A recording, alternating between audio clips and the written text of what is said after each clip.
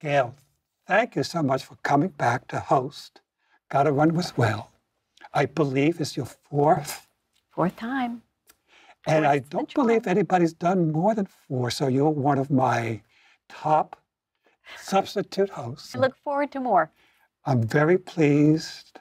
I'm going to do my best to do as many of these as possible. As you know, I recently did my 300th edition. Yes. Yes, we're very proud of you. Oh, thank you so much. The, uh, of course, the last two years of the pandemic has slowed us down a little bit. But Manhattan Neighborhood Network is going great guns. Mm-hmm. They're going to move by the end of the year to bigger and better quarters. Good. Perhaps the next time you're hosting, it would be the down near. Hudson Yards. Good. I look forward to that. What is your takeaway from hosting versus being a guest? You know, it's almost one and the same because it's such a relaxed format that it's not an interviewee and an interviewer. It's two people talking about running. And what's more enjoyable than that? Okay, excellent.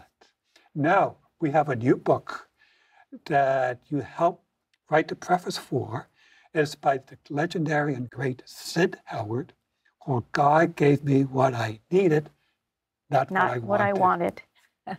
Although that's an old saying, it's been said many, many times before.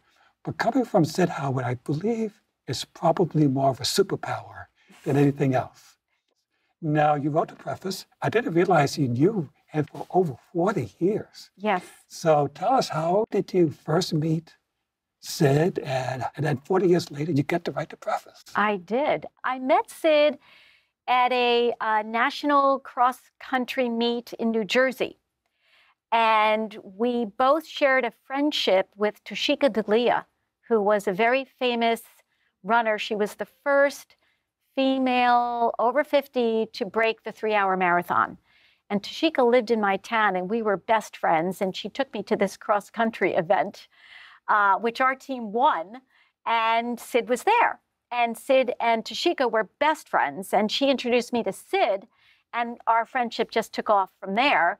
And then many years later, Sid and I were coaches at New York Roadrunners Team for Kids, which is their adult marathon team. I think Sid is still there with Yes, Team he for is. Kids. Yes, he is. No way he's going to ever give that up. No. He's, he's and he so also good.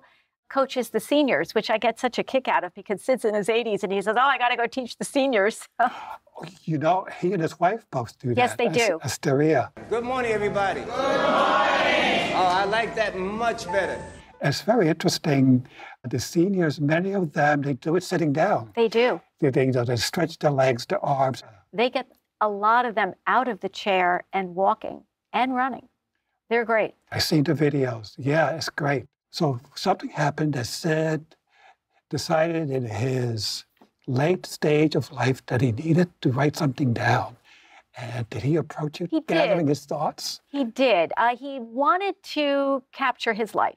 He wanted to leave a legacy for his many children and grandchildren and great ch- grandchildren. So he had a friend of his tape phone recordings.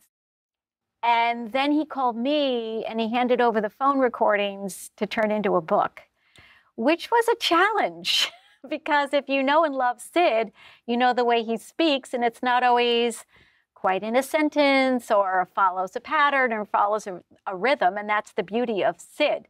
So it was a challenge to take the recordings and turn it into a book. So instead of just listening to the recordings, Sid and I had what we started to call our Sunday evening marathon phone calls.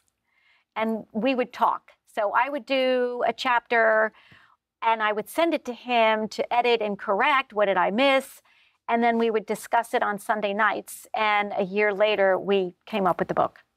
Wow, so it took a year. It did.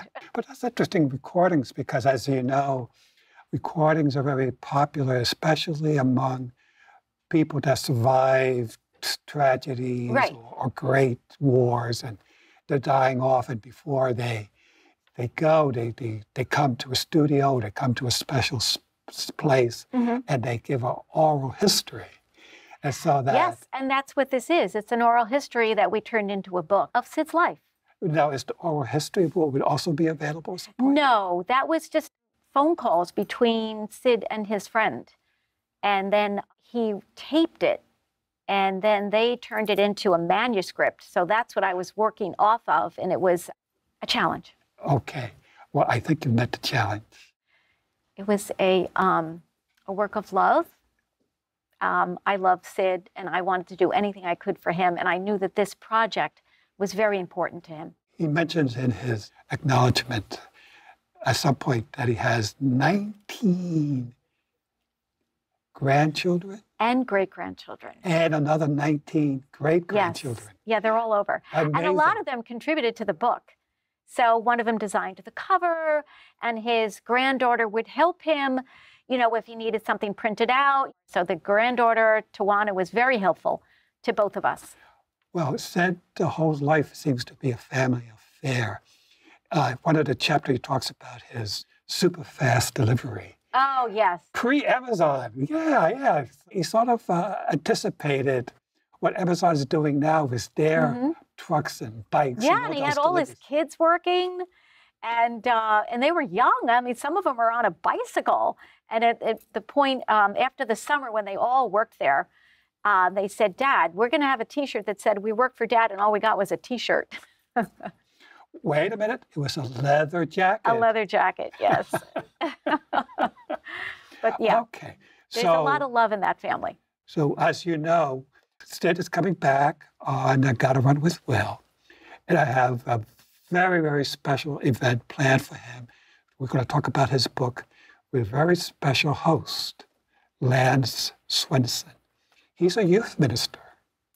And, and he inspired the Run Anyway okay. shirts that I wear because his story is uh, also one that's very spiritual. So I said, who would be the perfect person mm-hmm. to interview Sid about?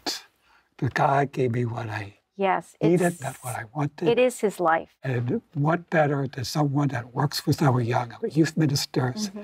Uh, Lance. So when this interview comes out, it'll be after that because we're interviewing before Sid comes on.